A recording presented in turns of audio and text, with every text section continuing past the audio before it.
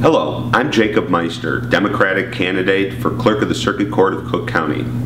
I'm an attorney and a civil rights advocate. In case you're not familiar with the office of the Clerk of the Circuit Court, it's essentially the chief operating officer of the Cook County Courts countywide. It handles 1.5 million cases a year, everything from traffic tickets to child custody, child support, criminal matters, and many issues related to larger social justice.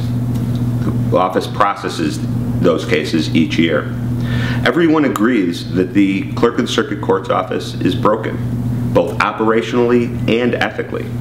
It's full of pay-to-play cronyism, corruption, and it's riddled with inefficiencies that interfere with the ability of judges to do their jobs.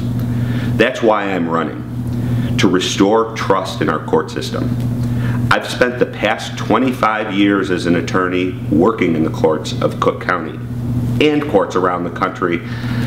And I know when there's a good court system and a bad court system, and the Cook County courts need to be reformed.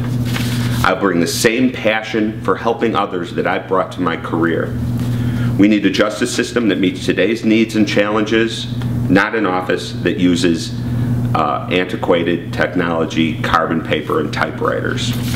Our incumbent Dorothy Brown's administration has been a model of corruption.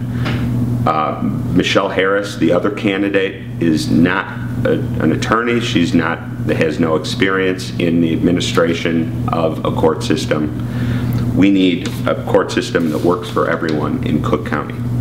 And I'm the only candidate in this race with the legal administrative and reformer credentials needed to tackle an office firmly entrenched in the status quo.